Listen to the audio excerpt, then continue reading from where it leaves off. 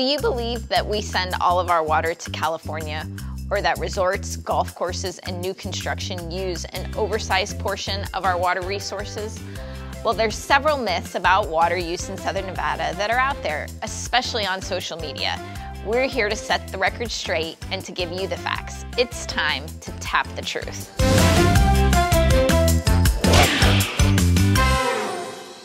Hi, I'm Colby Pellegrino, Deputy General Manager of Resources for the Southern Nevada Water Authority.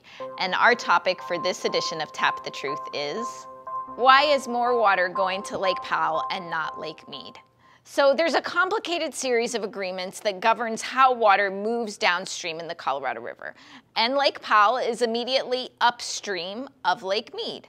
About 90% of the runoff into the basin comes above Lake Powell. So that means Lake Powell's elevation moves up and down much more rapidly and regularly than Lake Mead's does.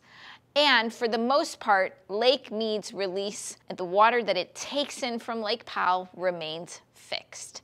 There is modifications where it does go up and down, and we've seen some of those modifications like in 2022 because Lake Powell was at risk of losing the ability to generate power.